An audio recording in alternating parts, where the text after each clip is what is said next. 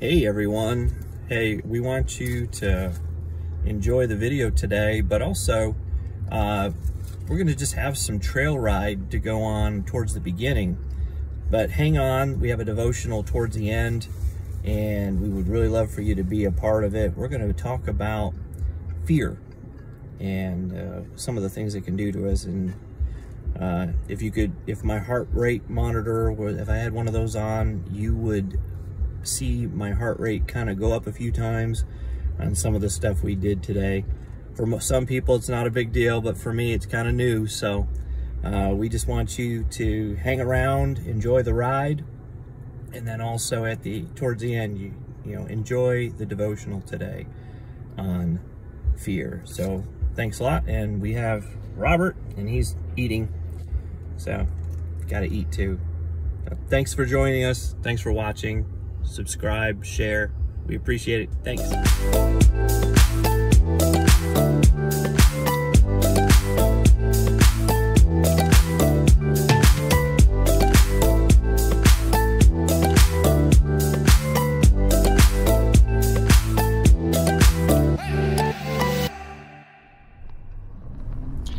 All right, everybody, let's hit the trails. Oh yeah.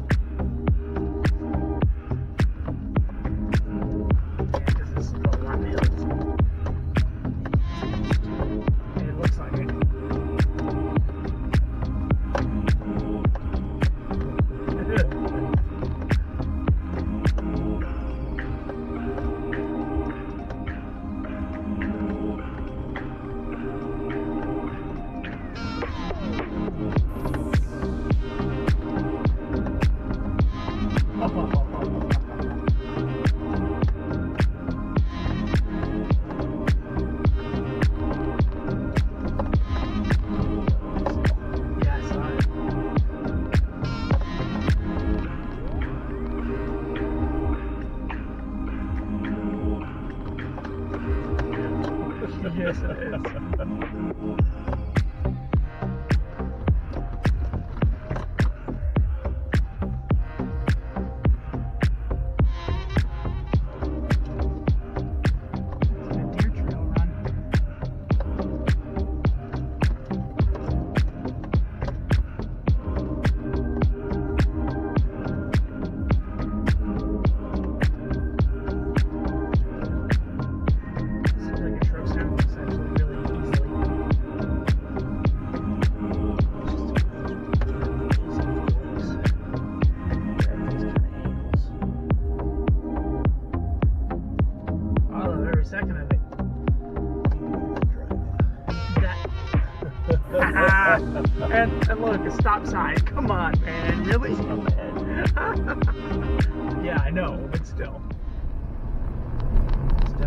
most extreme thing I've done in this thing. It was nice though. I mean, My heart was beating. you know what though? Your truck handled it well. Oh, it does. It, it can do it. You know, it's a lot of it has to do with, you know, like anything. It's it's not only confidence in the equipment, but confidence in our, that we can do it. Oh yeah. Because you can have the most capable equipment, but if you know, fear will keep you from doing just about anything. Oh, easily. You know, I guess if you look at it that way, you know, when you look at that scripture, God hath not given us a spirit of fear. You know, what holds us back Mm. from jumping into and doing what God has called us to do? It's, you know, the only thing usually that's going to hold us back is fear. Yeah. Fear of rejection, fear of everything. Yeah. I mean, I think a lot of it's the fear of the unknown. Yeah. Oh, yeah, definitely. That's one of the biggest ones. Oh yeah. But, you know, what about fear of failure? Yeah. Oh, absolutely. That's that's huge for me. I've always been afraid of failure. In fact, you know, I I would even say I would have a hard time letting myself fail. But I think the growth possibilities is when you fail is is just tremendous. I mean, I think it was you that told me about uh, SpaceX and that rocket blew up. Those scientists were all just All the yeah, all the people on the team. yeah. We're, we're cheering when they're when all this money they spent and all this time they spent it blew up but it was in their mind okay we just learned something. Yeah we we just you know learned something new. We figured something out that's going to help us in the next time. And really in our walk with god we have to be able to do that. You know god has god doesn't remember the past sometimes we just have to move beyond the you know okay it didn't work. Try it. What are you going to do different try something different. Mhm. do it you know change how you know what you're wanting to do.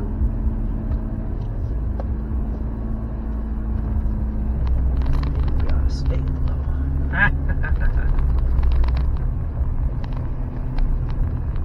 But that's the whole thing you know?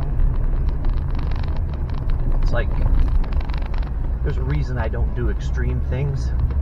It's because fear, yeah. you yeah. know. And you know, some of those uphills and some of those to be honest with you, if there was a turnaround, you know, I might have been tempted. But it's like, all right, I, I got I got no out. I just got to do this. Yeah. And I think we need to get that, you know, in our walk with God. Oh, I 100% agree with that.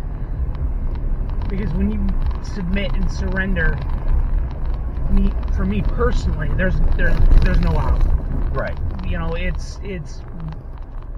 Uh, I think Peter said it best. You know, where would we go? You have the words for eternal life. Where Yeah. would we go? Exactly. So, I mean, I'm. I have to be.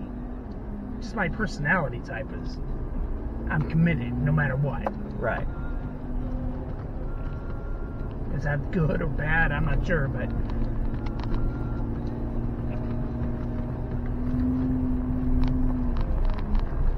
I really think that God wants us all in. I really oh. think that's the only way we can.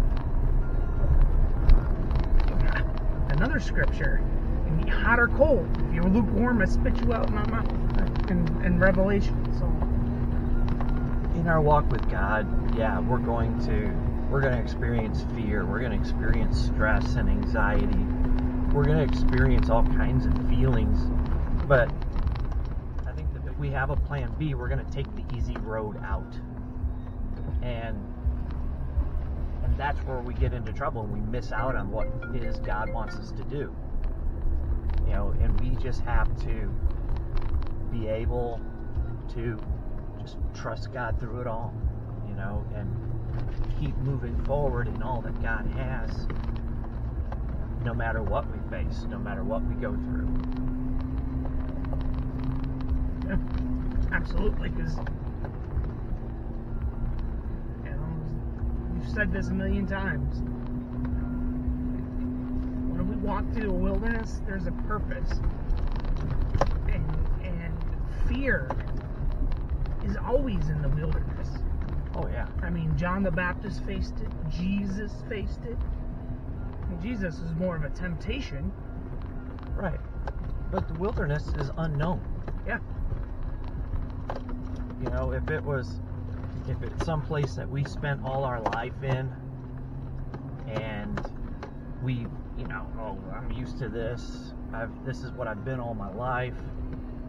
You know, we begin to, it's, it's a comfort zone. So when God takes us into our wilderness, He takes us into things that we aren't familiar with, that we don't know, and that's where you know faith in Him is going to make all the difference in the world. Trusting that God is with us, that I can do all things through Him, that He will always do what's in my best interest. You know, and till we get to that place of trust and faith, fear will always try to rear its ugly head. Oh yeah. And I I would say that the perfect love of God drives out that fear. Oh, yeah, what the scripture tells us. Perfect love casts out fear, and the only perfect love is God's love. Amen to that. So, but, you know, we kind of had I had to take a phone call, so there's a gap in the action. You know why? Um, yeah, believe it or not, I have cell phone service out here. uh, but you know, here's the thing: fear's going to come. You're gonna experience it somewhere, somehow. Fear is always comes with the unknown, and you know, here what we have to do in those moments is be like, okay, God, if you're leading me into this, you're going to give me everything I need to accomplish it. God isn't going to take you somewhere and leave you. His word is very clear. He will never leave you or forsake you. But you may be like the psalmist in that you're going to feel like you're walking through the valley of shadow of death. You're going to have those moments. Fear is a good emotion as long as you don't let it take control.